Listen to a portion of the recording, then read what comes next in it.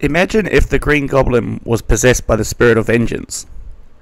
Well, this actually happened, and it was on Earth 45863. Now, unfortunately, it is unknown when this merger took place. However, the spirit is believed to be the same spirit in this universe that attached itself to Danny Blaze in the 616 universe. We first meet the Ghost Goblin as a member of the Doom of Doom Supreme's multiversal Masters of Evil.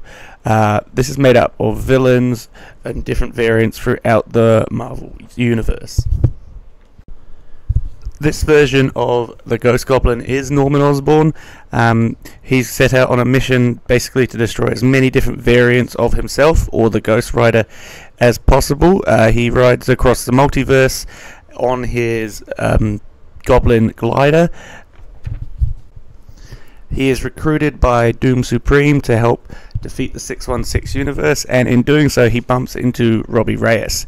When he meets Robbie, he's actually extremely surprised to see that this variant has taken control of a vehicle, uh, such as the car, and none of the variants he's met and have done that yet. So he finds it very interesting. Um, after the battle, he realizes how strong Robbie is and actually realizes that Robbie is not just the Ghost Rider, he is the All Rider, and he makes it his mission to kill as many variants as Robbie as he could, uh, due to him wanting to be the one and only Ghost Rider. He's battled with the 616 Avengers a few times. Um, he had a huge battle with Carol Danvers. Uh, he actually mentioned to her that he'd killed many different variants of her in the past, putting his power up there with hers, which is quite impressive. He now, the Ghost Goblin unfortunately met his demise when he travelled back in time to prehistoric times to battle against the Prime Avengers.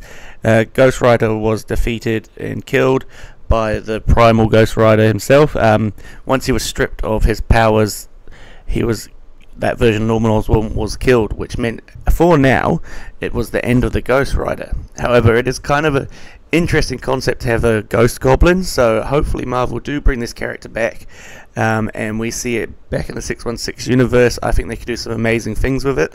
I mean, they've already done alternate versions of the Goblin. They've done Red Goblin before with the Carnage symbiote, so Ghost Goblin would be a great add.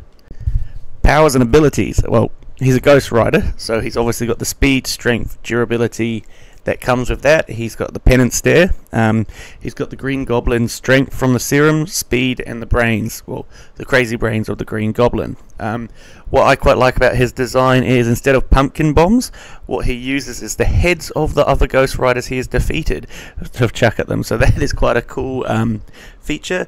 Uh, he's got his flaming glider that he travels on, and of course the chains. But yeah, a very short video on a character that um, hasn't been featured too much, but would love to see more of the Ghost Goblin. If you guys have read any more about them, please let me know. I'd love to know some more facts. Um, yeah, thank you for watching and cheers.